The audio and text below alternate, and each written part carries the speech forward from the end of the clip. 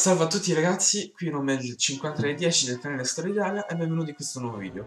Quest'oggi parleremo di alcuni dei veicoli che fecero parte del Regio Esercito fin dal 1940, ma che per lo più rimasero sconosciuti. Ma di che cosa stiamo parlando?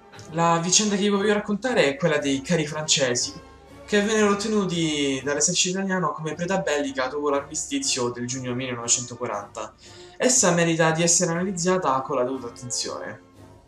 Ovviamente alla fine del 1940, dopo le prime pesanti sconfitte in terra africana, gli italiani si trovarono a dover far fronte ad un'impreparazione tecnica quasi imbarazzante.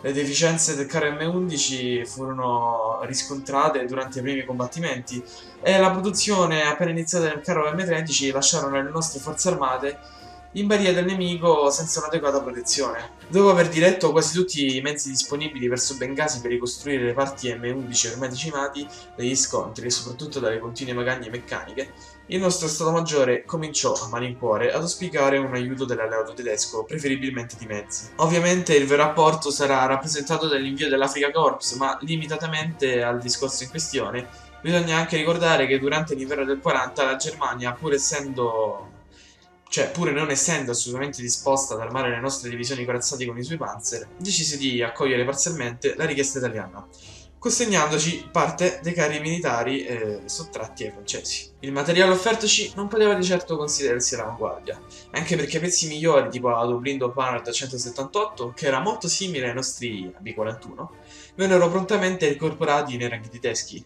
La stessa fine toccò ai Renault B2 o Char B1 bis che erano un discreto carro pesante da 30 tonnellate, dotato di un'ottima corazzatura fino a 6 cm, una velocità piuttosto discreta, si andava dai 27 ai 28 km/h massimi, e un possente armamento, un 47 mm in torretta e un obice di 75 in casamatta. Cosa ben diversa era invece il Somua S-35, uno dei migliori carri medi della prima parte del conflitto, era protetto con ben 4 cm di corazza, in fusione non in bullona da scudo. Era veloce, arrivava fino a 40 km/h e aveva un ottimo armamento, con il solito pezzo da 47.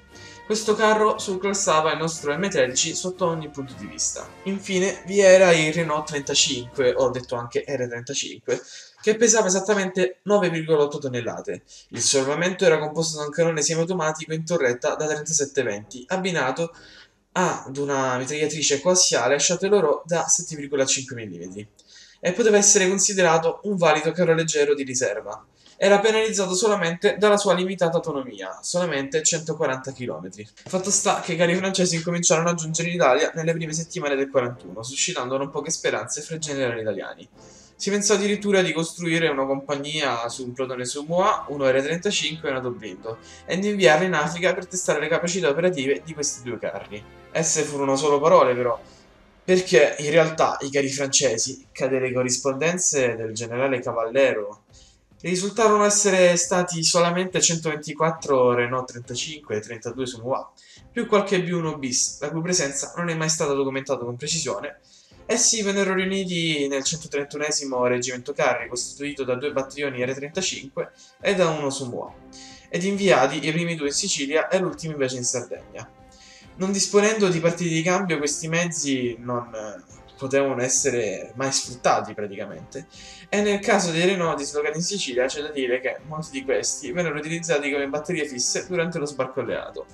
Risulta addirittura che alcune torrette di questi mezzi francesi vennero utilizzate per armare postazioni in calcestruzzo di difese costiere. C'è da dire innanzitutto che l'offerta che fece il generale Fontroma all'Italia fu di 350 Renault R35 e che fu poi incrementata a 500, ma come avevo già detto ne furono consegnati circa 140. Resta il fatto che questi carri, diciamo 109, erano distribuiti, come abbiamo già detto, in Sicilia e parteciparono agli sbarchi alleati del 43. Essi furono utilizzati per il contrattacco su Gela. Quindi allo sbarco in Sicilia, al momento dello sbarco in Sicilia, essi vennero inquadrati nella divisione di Livorno al comando del generale Guzzoni. Esso volle dirigere un contrattacco verso Gela in collaborazione con la prima Panzer Division Hermann Göring, che era dotata di Panzer 4 e 17 carri pesanti Tiger 1. Però tra le forze italo-tedesche mancarono direttamente collegamenti del tipo logistico e anche di coordinamento, cioè mancava qualsiasi coordinamento. Infatti a Gela arrivò solamente le due colonne corazzate costruite da Guzzoni, composte da R-35. Esse attaccarono e praticamente le divisioni Ranger si trovarono, diciamo, nei casini. Più che altro perché richiesero un supporto aereo e il supporto aereo non arrivò. Però chiesero anche il supporto navale da uno dei incrociatori leggeri presenti sulla costa. Esso sparò e fece fuori quasi l'interità delle due colonne corazzate, mentre altri due o tre carri furono fatti fuori dai Ranger stessi uno da un pezzo anticarro da 37 mm, mentre l'altro da un colpo di bazooka.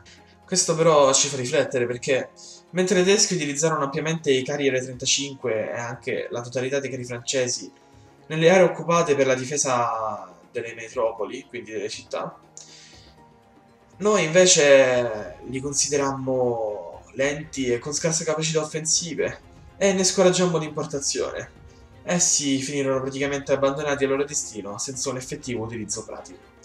E niente ragazzi, fatemi sapere cosa ne pensate voi sui carri francesi di Preda Bellica. Lasciate un mi piace, mi raccomando iscrivetevi al canale se l'avete già fatto e noi ci vediamo al prossimo video. Alla prossima, ciao ragazzi.